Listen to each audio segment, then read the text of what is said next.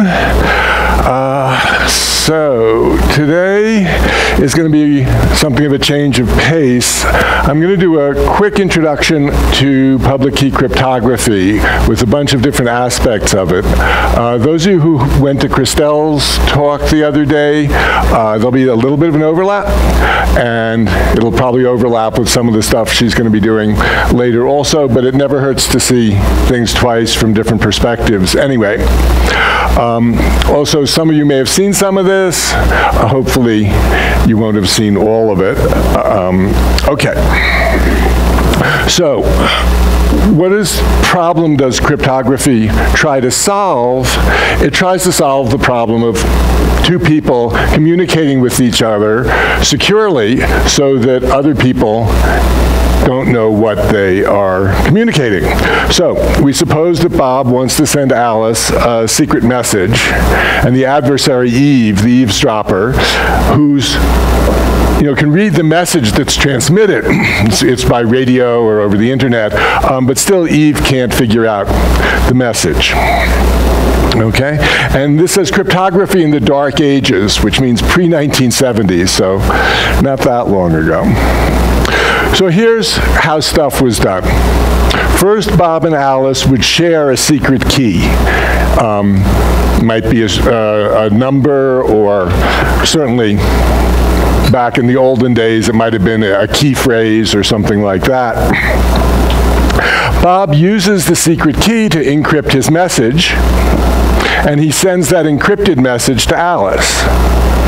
Now, Eve gets to see the encrypted message, of course.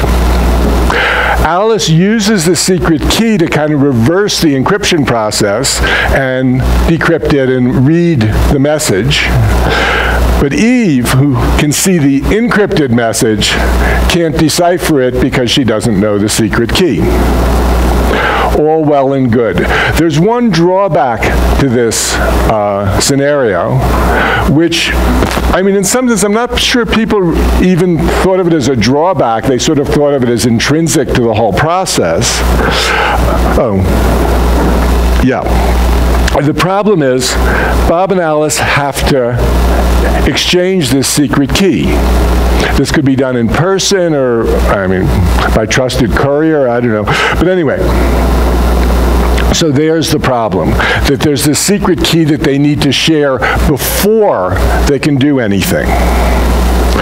So, here's sort of where's the problem. Suppose Alice is Amazon and Bob wants to buy something, needs to send his credit card number. Well, Bob is not going to go to Amazon headquarters and get a secret key. Amazon could send a secret key to Bob over the internet, but then Eve could read the secret key also. And needless to say, Amazon didn't exist in the mid 1970s, but nonetheless. So at that time, uh, Diffie and Hellman proposed creating a crypto system that didn't use a single secret key, but used two keys, one of which was literally secret, but the other of which was public. That not only did Bob and Alice both know, but Eve knew, knows the public key also. Everyone knows it. And the idea was that in order to encrypt a message, you only need the public key. So Alice has this private key that she keeps secret and a public key that she publishes for everyone to see. And Bob only needs that public key to encrypt the message. But to decrypt it, you actually need to know the secret key. So only Alice can decrypt the message. Okay, so that's the meta idea. It doesn't tell you how to do it, but it's an idea. It was actually kind of a really, I, I mean, it was really a breakthrough idea that this might even be possible, even if they didn't quite know how to do it. And I'll just mention, because these are the, the terms used in cryptography, that the message that is being sent that can be read is usually called the plain text, and the encrypted message is called the ciphertext. okay? All right, all well and good. But Diffie and Hellman actually, in their groundbreaking paper, did not propose how to create such a system. They proposed something similar, what's called a key exchange, but they did not come up with this, but these are now called public key crypto systems, or in fancier terminology, as asymmetric crypto systems. I, I usually use public key, which is a little bit of a misnomer, because there are two key systems. There's a public key and a private key. But, okay. So as mathematicians, let's reformulate this mathematically. You can think of uh, setting up crypto systems and sending messages just as functions. And a public key crypto system would look like this. Okay? So, we have a set of possible public keys, some big set, with associated private keys, a set of private keys. There's the set of plain texts, the messages that Bob might want to send. And what would happen is Bob, well, this function, there's an encryption function. Its input is an ordered pair, a public key and a message, and its output is an encrypted message, a ciphertext. And then there's a decryption function, and the decryption function also takes two arguments, a private key and a, uh, an encrypted message, and it gives you an output of plain text. Okay? It's normally assumed that Eve knows what the encryption and decryption functions look like. This was a sort of a big deal in cryptography from roughly 50 BC up until the 1800s, um, so a long time, whether maybe it was better to base the security on keeping the encryption and decryption methods secret. It turns out that was a very bad idea. Um, so the only real secret for encryption and decryption is Alice's choice of her private key. All right.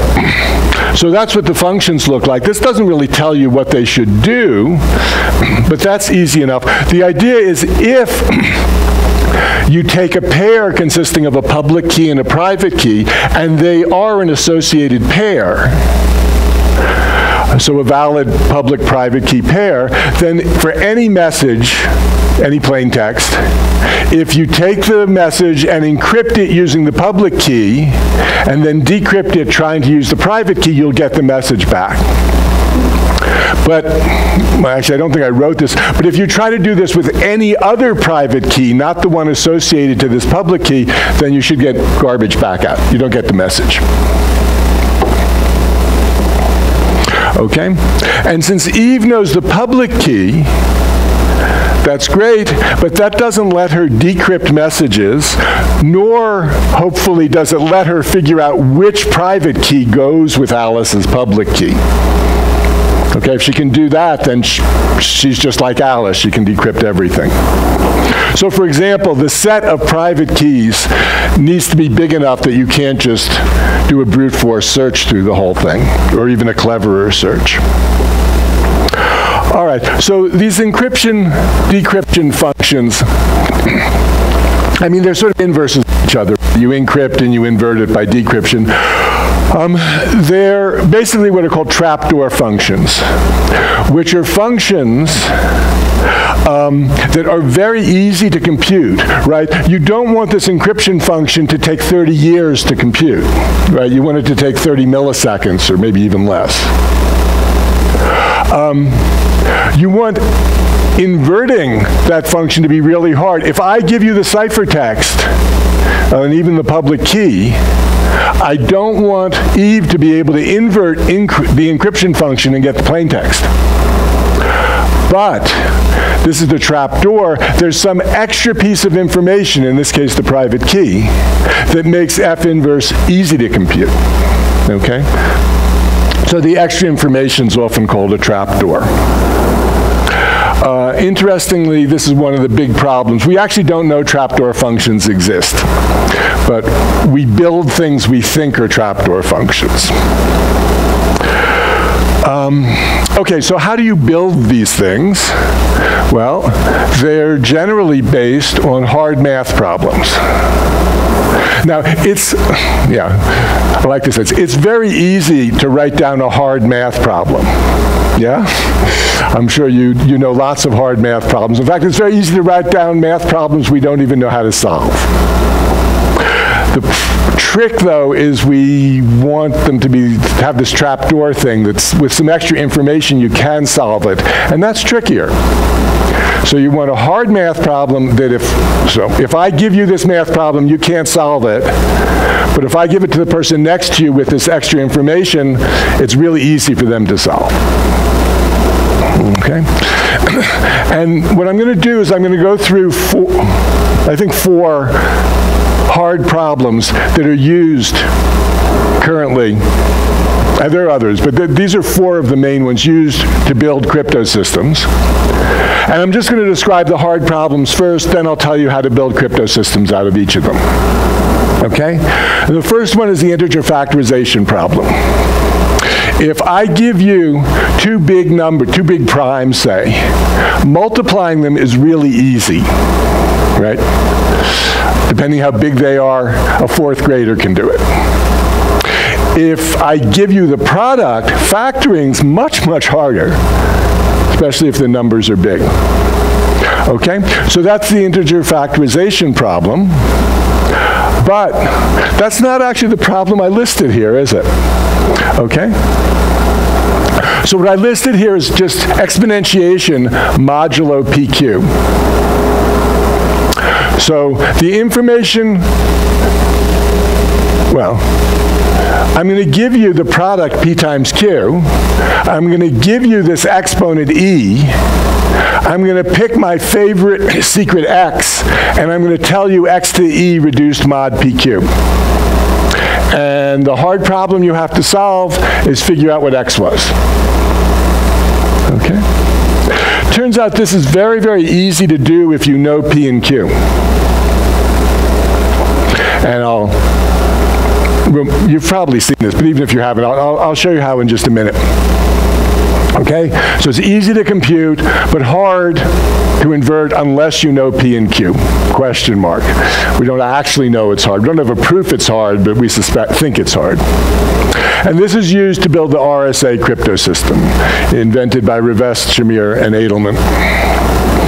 Although there's an interesting story with the British Secret Service that I don't really have time to talk about now. But anyway, the second one that Christelle talked about quite a bunch was the, is the discrete log problem.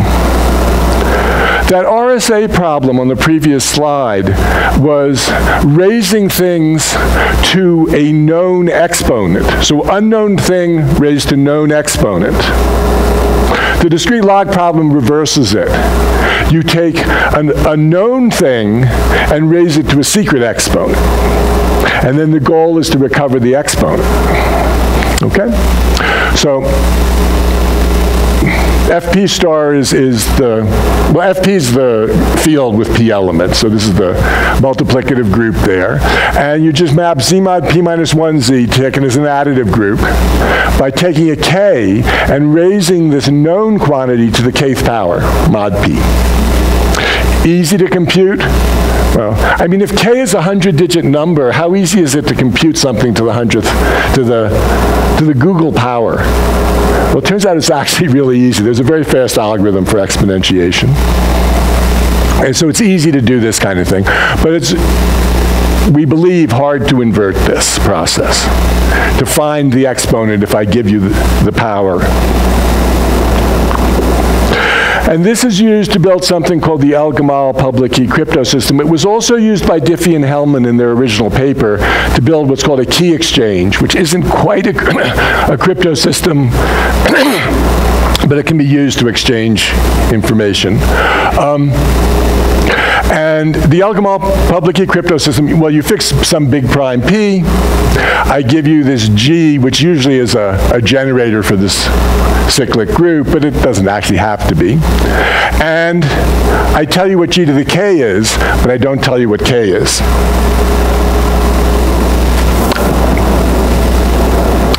Okay. That was the discrete log problem on the multiplicative group of a field, of a finite field. You can talk about the discrete log problem for any group. It's just I give you an element of the group and I give you that element multiplied by itself using the group law k times, and you have to recover k. Okay? So the other, another group that gets used a lot is the group of points on an elliptic curve over a finite field. Probably most of you have seen elliptic curves. If you haven't, don't worry about it. It's just another kind of group. It's not going to come up again in my talks. It will come up again next week in some of the other talks. Why should we bother using elliptic curves? So, on the one hand, I have the multiplicative group of a field. The group law is multiply two numbers, take the remainder mod p. On the other hand, I have this elliptic curve, which has a group law that's given by this very messy polynomial formula.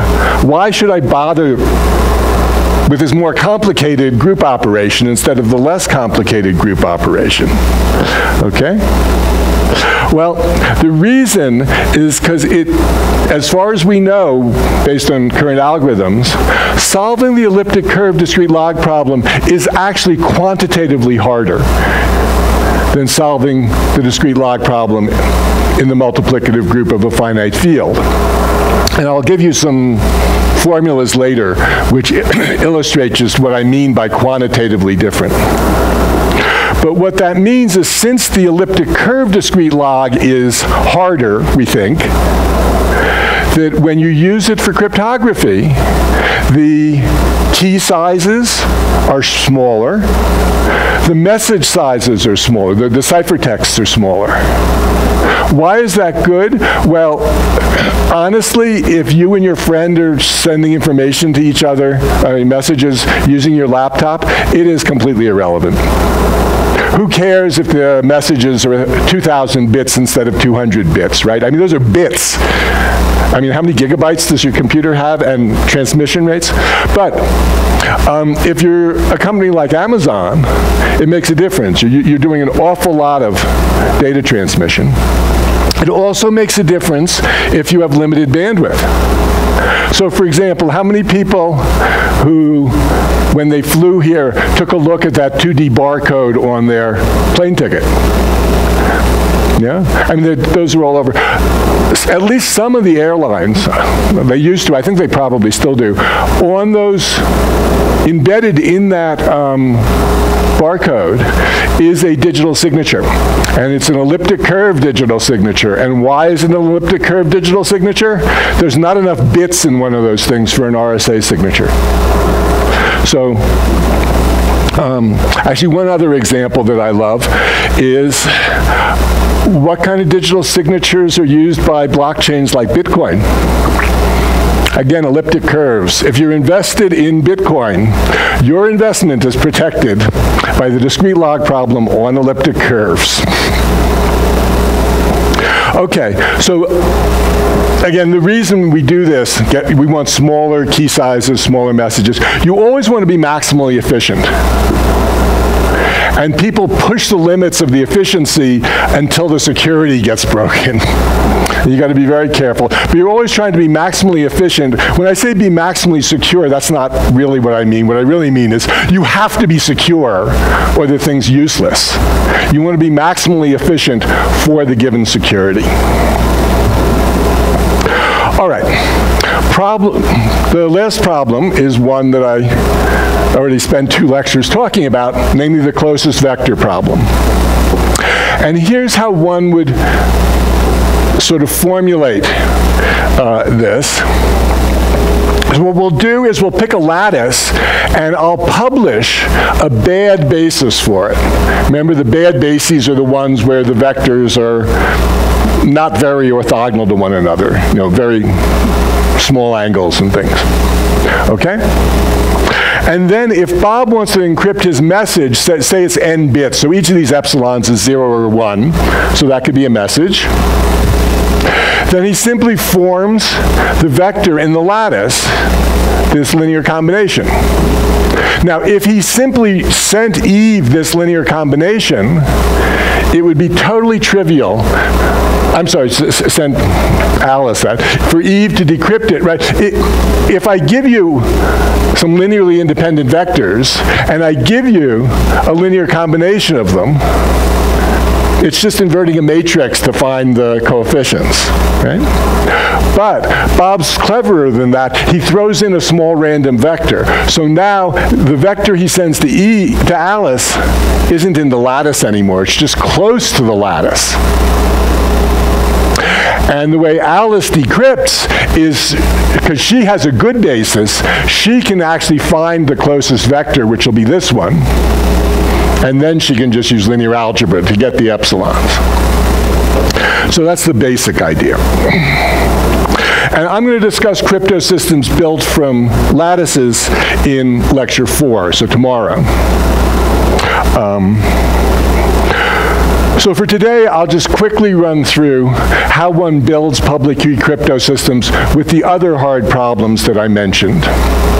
And again, the details, if you've seen them before, this will be review, great. If you haven't, don't worry about the details. The idea is just to sort of see how one uses mathematical problems to um, do things. And in the problem session, you can start playing with some of these, especially the ones you haven't seen. They're, they're really fun to, to, for example, prove why they work. So, for RSA, the private key is these two big primes. Those are my secret, or Alice's secret. And the public key is the product of those two primes and an encryption exponent. Need to be a little careful with your encryption exponent, but they're I mean, a random choice is good, but people like to take E as small as possible for efficiency. Some people suggested using E equals 3. Eh, it's a little risky. Okay. The plain text would just be a number mod PQ. And the ciphertext is you, Bob takes his secret message, raises it to the eth power, where E is known, reduces mod PQ, so takes the remainder. That's his ciphertext. The C. The way Alice decrypts is she raises C to a certain power to undo the E. So what she wants is D times E to be congruent to 1, not PQ because you're in the multiplicative group. So basically modulo, modulo the order of the multiplicative group mod PQ which, if you remember from your number theory, it's Z mod P star cross Z mod Q star, so it has P minus 1 times Q minus 1 elements, which is this number. So basically, Alice has to solve a congruence modulo this modulus that she knows, because she knows P and Q, so she can find this D and she can decrypt and all's good. Eve, who would also like to find this D, one way to do it would be knowing this modulus here, but since she knows P times Q, knowing this modulus is the same as knowing P and Q. So Eve can break the system if she can find P and Q, but that's okay because we're assuming factoring P times Q is hard. Now I've cheated a little bit here because the problem, the underlying problem is not factoring. The underlying problem is if I give you m to the e, take the eth root mod pq and find m. Okay? So the actual the RSA is actually based on the problem of finding roots, eth roots, mod PQ.